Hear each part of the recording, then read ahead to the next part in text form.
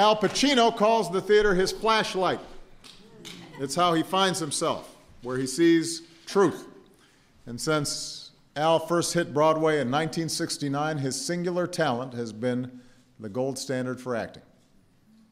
A great playwright once compared the way Al inhabits his characters to the way Louis Armstrong played jazz.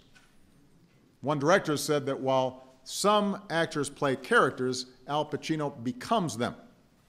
And we've all seen it.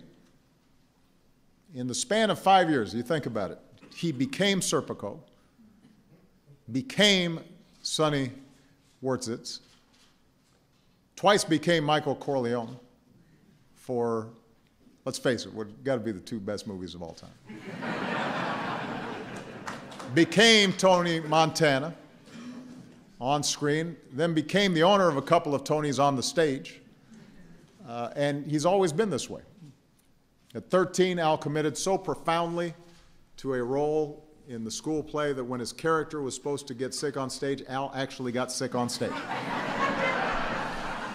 I am not sure how audiences felt about that, but later when he played Richard III and Jackie Kennedy visited him backstage, the actor playing this self absorbed king didn't even stand up to greet actual American royalty, which he says he still regrets.